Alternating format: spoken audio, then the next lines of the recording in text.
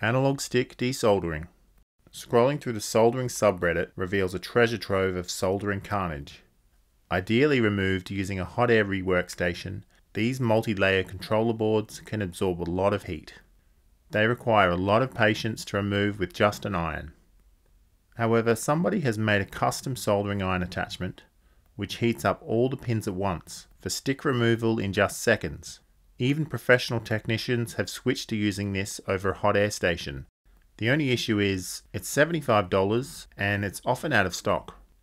Cheaper alternatives can be found on AliExpress, but they're still 40 bucks and they're not nickel plated. But I happen to have a 2mm copper shim laying around, which only cost me 5 bucks. I want to see if I can make a budget version of this tool. I'll mark out where to drill the holes with this analog stick board I have.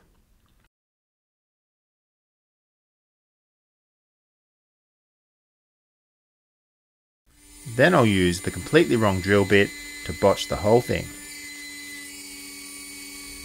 Look at it smiling back at me, mocking me. These holes are supposed to line up. So then I switched to a drill bit intended for PCB drilling.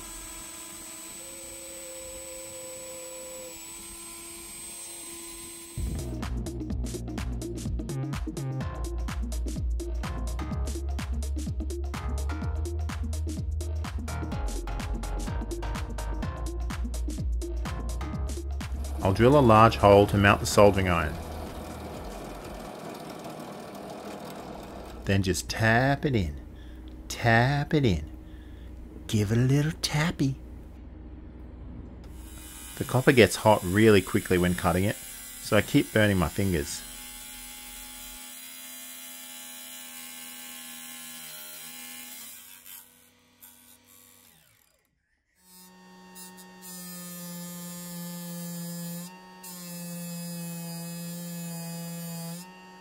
But after grinding it down, it's now this cool Millennium Falcon looking shape.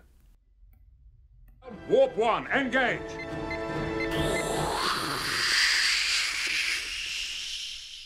To mount the piece, I'll use a spare heat press insert adapter that I had lying around.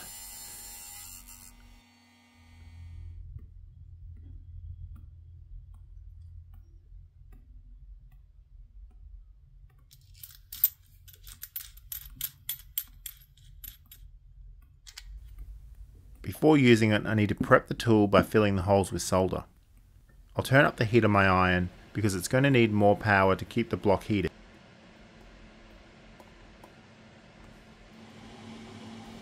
Wow, look at the pretty colours.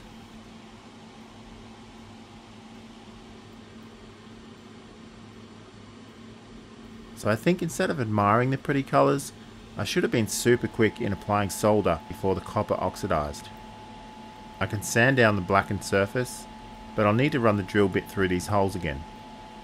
There's definitely a benefit to having this nickel plated.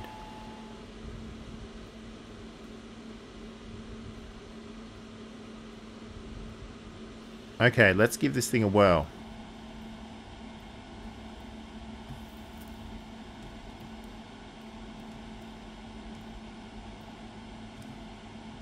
After almost a minute of nothing happening, I realised I had turned my iron back down to apply the solder. I've turned it back up to 440 degrees. So let's try that again. Ta-da! Alright, let's try the other one.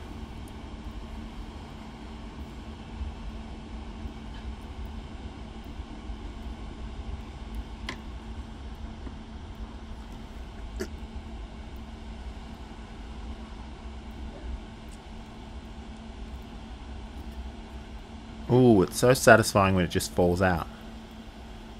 I'm curious if I could also use this tool to reinstall the stick. Ow. Hot. Metal hot.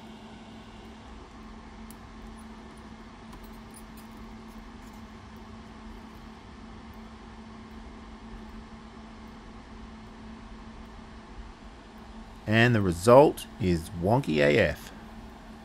It's definitely possible, but I guess it takes a lot more practice to master. Okay, controller number 2.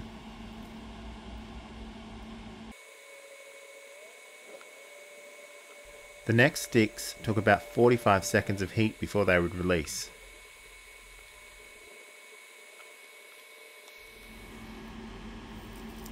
And trying on a PS5 controller, each stick took a couple of minutes.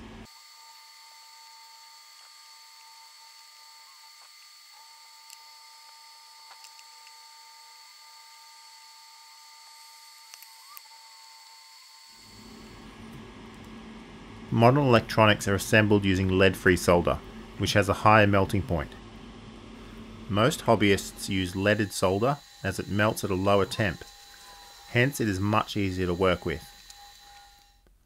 After cleaning up all the solder, I reinstalled the stick using leaded solder. I'm curious how well this works when it's installed with leaded solder. And this time it's almost instant.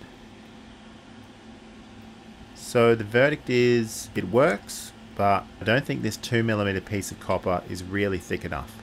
These multi-layer boards suck all the heat out of it and it takes too long to get back up to temperature.